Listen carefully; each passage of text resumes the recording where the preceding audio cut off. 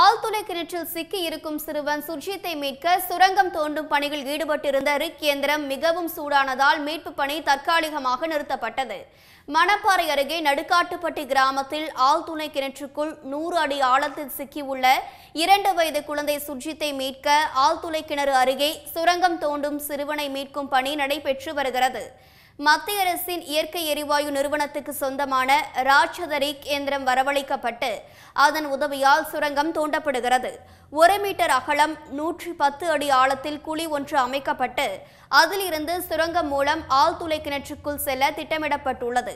கற்பாறைகள் அதிகமாக இருப்பதால் ரிக் இயந்திரம் சூடானது. இதனால் சுரங்கம் தோண்டும் பணி தற்காலிகமாக நிறுத்தி வைக்கப்பட்டது. சிறிது இடைவெளி விட்டு இயந்திரம் இயக்கப்படும் என்று மீட்பு குழுவினர் தெரிவித்தனர்.